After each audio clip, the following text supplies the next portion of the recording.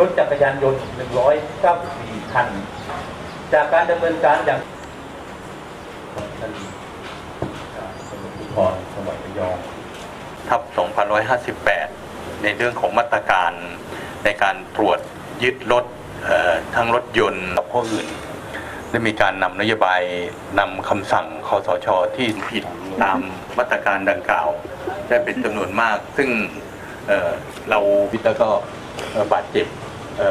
ได้เป็นจำนวนมาก นั้นในจังหวัด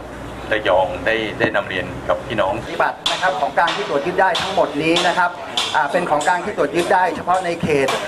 รับผิดชอบของสถานีตำรวจภูธรเมืองระยองเท่านั้นนะครับอีก 15 สถานีตำรวจในสังกัดจับกลุ่มดำเนินคดีของผู้กระทำผิดดังกล่าวนะครับ ก็ส่งผลทำให้เกิด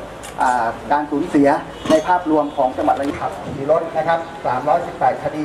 รวมคดีจราจรนะครับที่ดำเนินการดีก นะครับ ก็เป็นการจับกลุ่มที่ค่อนข้างสูงนะครับ ก็ซึ่งที่สำหรับผู้กระทำผิดนะครับทั้งหมดนะครับก็ถูกดำเนินคดีนำมาใช้ควบคู่กับมาตรการทางกฎหมายในเรื่องการอ่าดำเนินคดี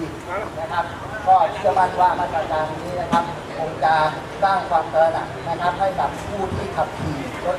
ยานกฎหมายของยานพาหนะจะต้องตรวจเพิ่อย่างแน่นอนขอใช้บริการ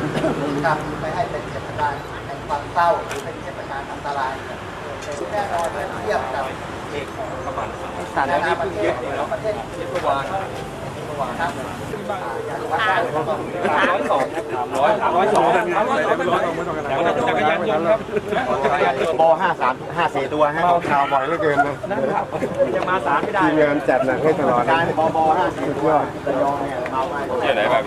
ไม่ได้ไปไหนพี่อยู่ระยองทำ